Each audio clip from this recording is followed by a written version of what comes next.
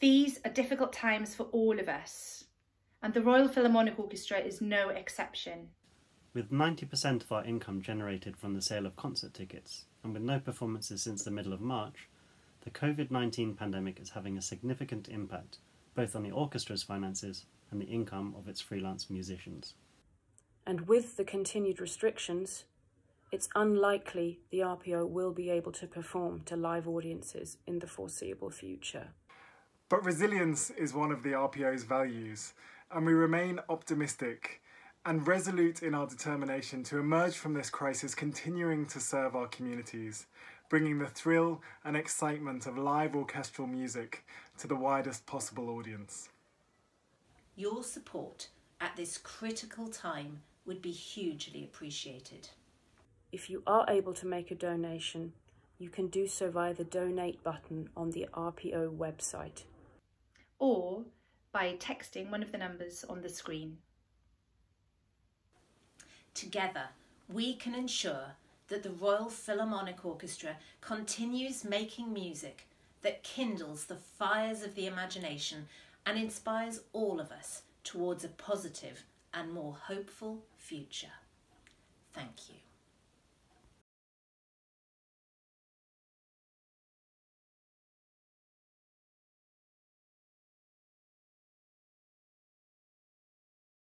Today we want to share a world with you that for some will be mysterious or perhaps even unknown. It's a wonderfully diverse, enriching, colourful world that's around you more than you might be aware, stirring your emotions in everything from TV shows and video games to movies, musicals, theatres and concert halls, churches and opera houses, town halls, summer festivals and Olympic stadiums. It's the world of the symphony orchestra.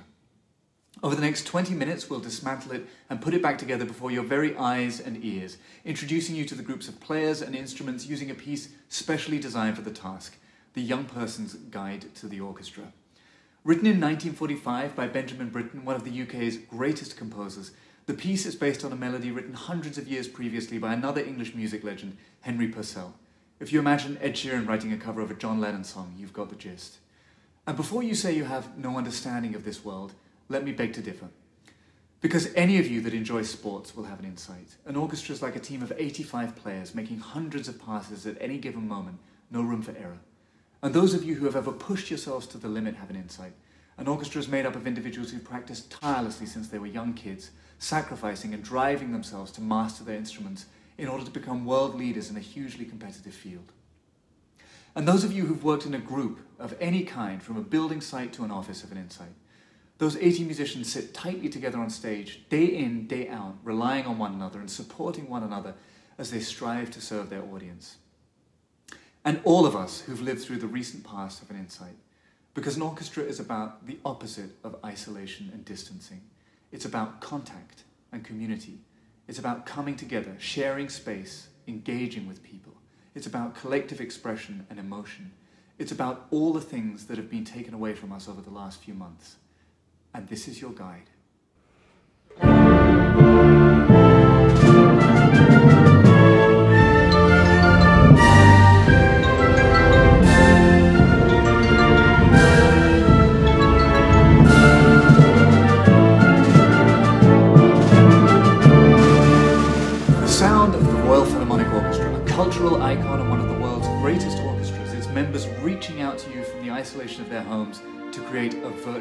RPO. Now, just as soccer teams have a defence, midfield, wingers, and attack, so an orchestra consists of four sections, each with a distinct look and sound. And as with a sports team, it relies on those groups performing perfectly and communicating seamlessly. Like actors in a play, the musicians perform from detailed individual parts written out by the composer. The challenge is to reproduce these faithfully and infuse them with character while perfectly aligning the 85 voices in real time, creating a whole that's more than the sum of those parts. We'll meet the separate instruments shortly, but let's start with their sections. Firstly, the woodwinds, narrow, straight pipes with keyholes, mostly made of wood and blown to make a sound. They are mercurial and virtuosic.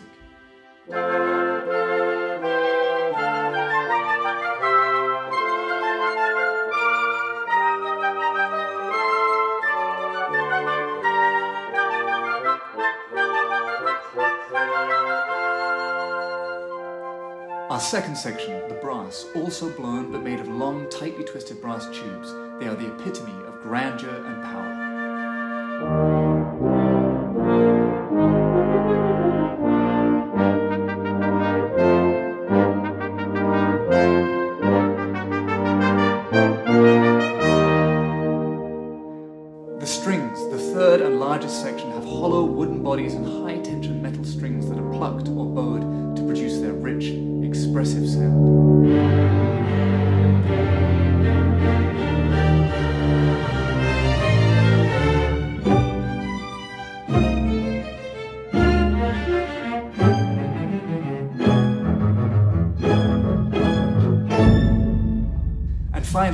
Percussion, a vast array of instruments that can be shaken, scraped, tapped, and banged, vivid and radiant one moment, rhythmic and brash the next.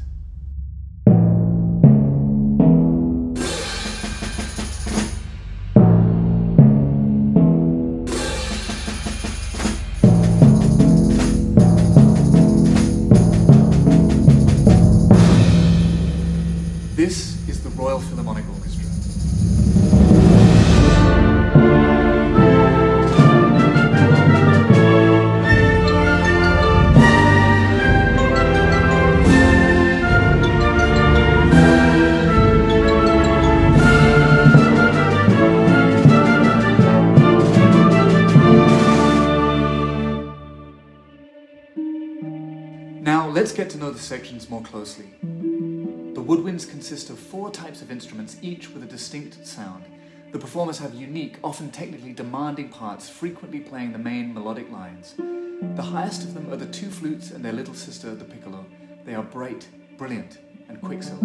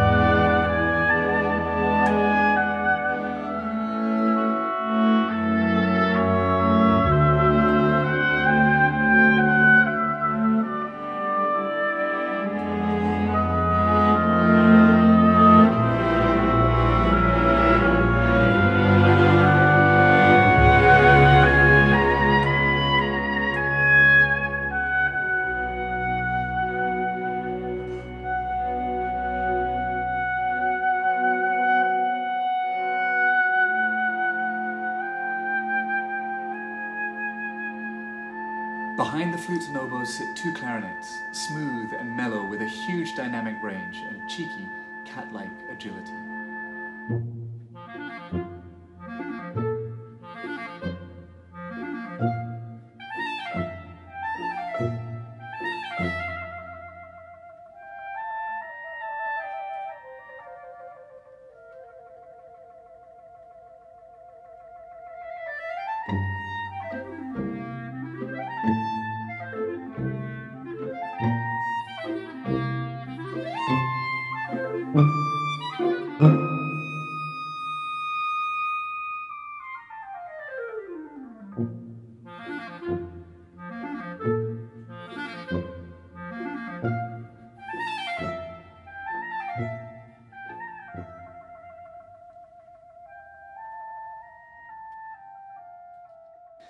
finally, the two bassoons, largest and therefore lowest members of the woodwind family, bustling and full of character.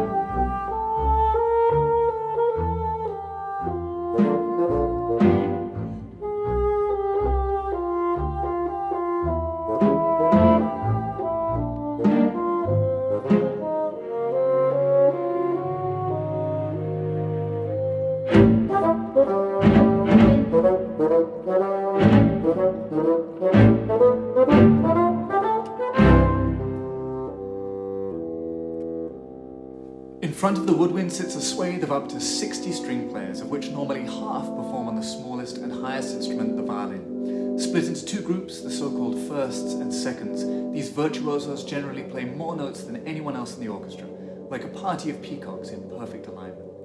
The violinist sitting right next to the conductor is the leader of the orchestra or concertmaster.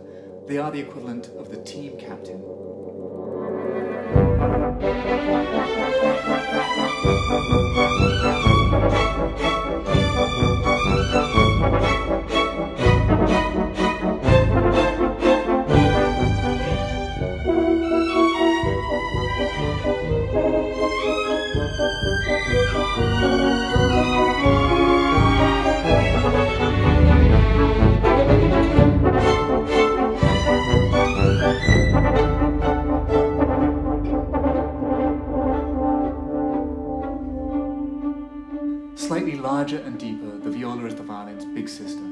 This group shares the melancholic singing quality that we heard from the oboe.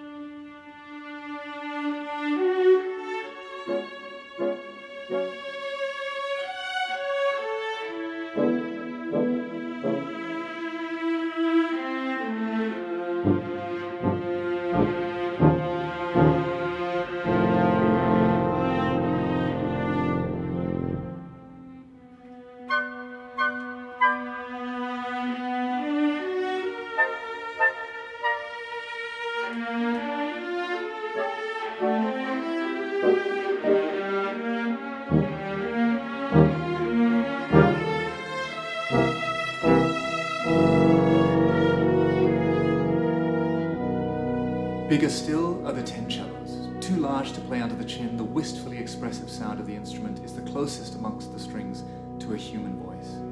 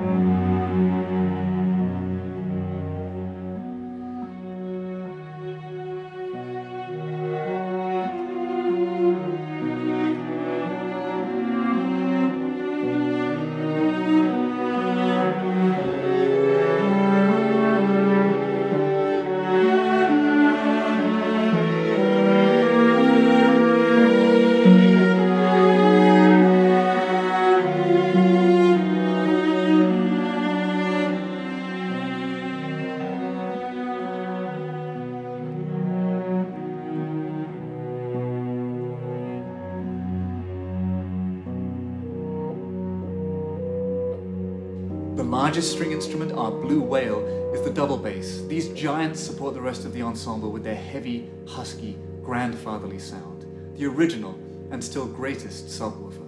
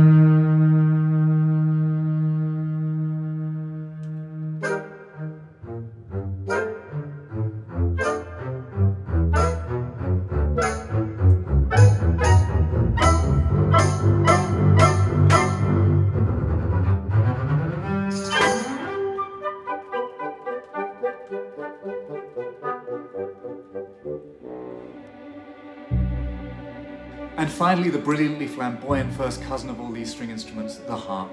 Like an upturned piano with its interior exposed, the sound of its 47 strings is both sumptuous and seductive.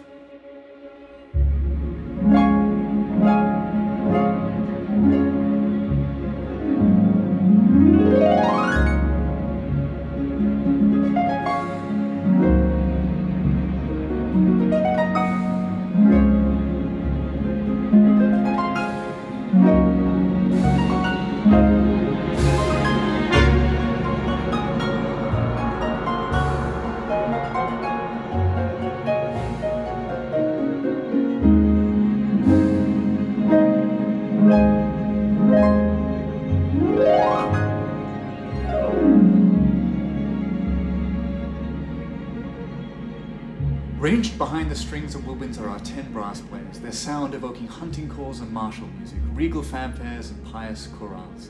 The four French horns, descendants of 17th century hunting horns and each made of 18 feet of tightly coiled tubing, together form a dynamic quartet, by turns rhythmic, melodic, and harmonic.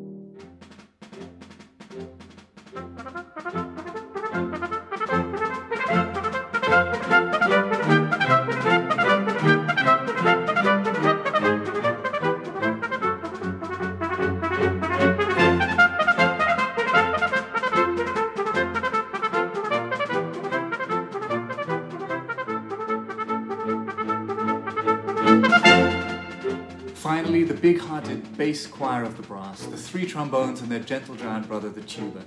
Often used together in harmony, they can be robust and resolute, sonorously mellow, or stately.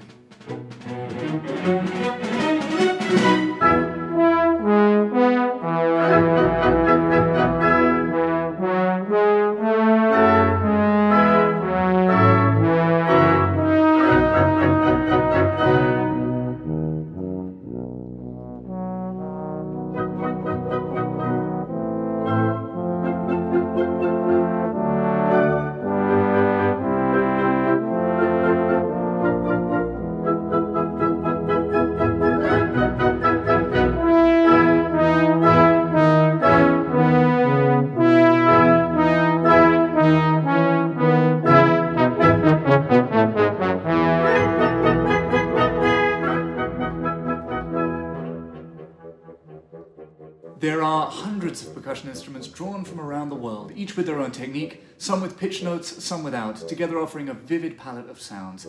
Our five players must master them all. Here's a small selection, beginning with pitch drums that have been in the orchestra for centuries the timpani.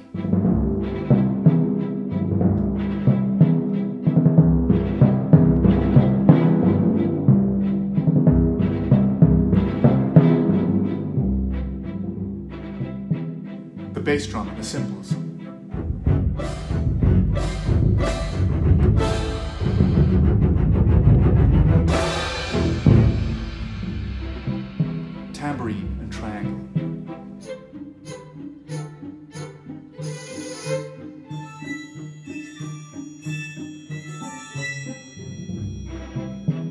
The side drum and Chinese block.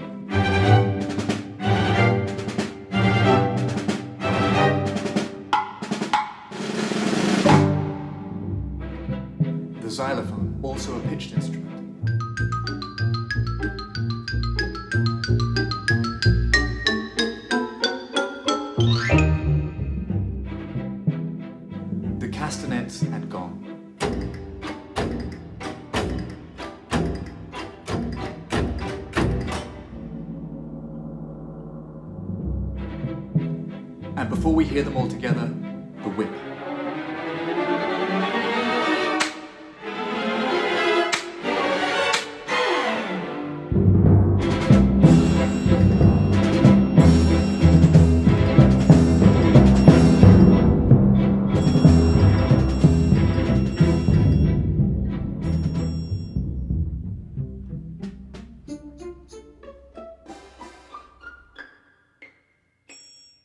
So now you've met the individual instruments, but of course an orchestra is an extraordinary collective undertaking.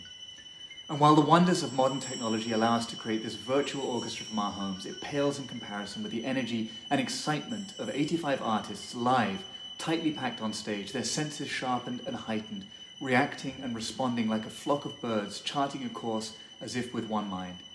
Every one of us is reliant on the other as we give our all to serve our real purpose, to tell stories in a language beyond words, to speak not just to our audience's minds, but to communicate directly with their hearts.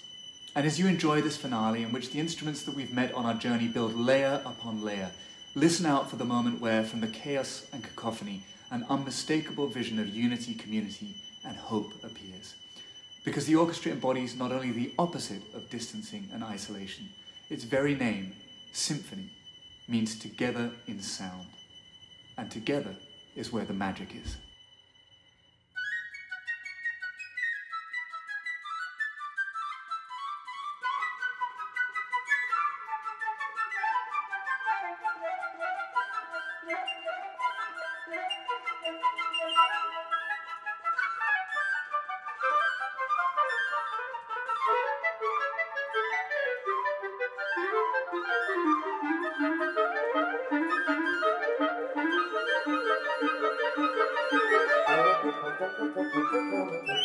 Thank